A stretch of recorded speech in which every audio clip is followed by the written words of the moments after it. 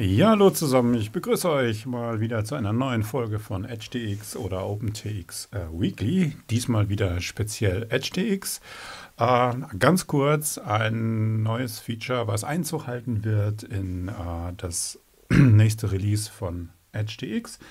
Und zwar betrifft es diejenigen, die ein äh, Color LCD, also ein Farb LCD ähm, haben. Ich habe hier einfach mal die X12S genommen. Ähm, es würde allerdings mit einer externen Erweiterung auch mit der Radiomaster TX16S funktionieren. Warum nehme ich die X12S? Nun, ähm, wer die gewissermaßen in Vollausstattung kauft, der weiß, dass dort ein Lagesensor eingebaut ist in die Fernsteuerung. Und den konnte man bisher nicht nutzen, aber man wird ihn in Zukunft nutzen können. Äh, und das ist ja ganz einfach. Wir kennen das alle von unseren Handys her. So ist das hier auch. Ich habe einfach mal zwei Mischer konfiguriert auf Kanal 1 und Kanal 2.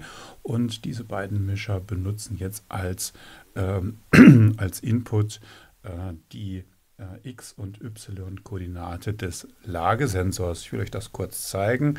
Wenn ich also den Sender um die Querachse kippe, das ist jetzt der y-Wert bei Kanal 2 und wenn ich ihn um die Längsachse kippe, dann ist das der x-Wert in Kanal 1.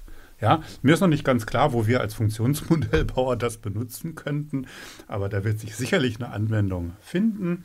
Äh, in Zukunft sieht das dann so aus, dass wir hier äh, ja, ich mache es mal ein bisschen, ich gehe mal direkt in den Mischer rein. Da haben wir jetzt als Quellennamen die Möglichkeit Tilt X oder eben Tilt Y äh, zu verwenden.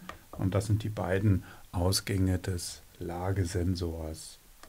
Ja, relativ easy. Ähm, wie gesagt, wo da der konkrete Anwendungsfall liegen könnte, weiß ich nicht. Man sieht auch, dass die Werte relativ ähm, empfindlich sind. Da könnte man vielleicht noch eine digitale Filterung einbauen, um das ein bisschen zu bereinigen. Äh, aber im Grunde genommen funktioniert das. Und ja, sucht einfach mal einen Anwendungsfall dafür. Danke fürs Zuschauen. Bis zum nächsten Mal.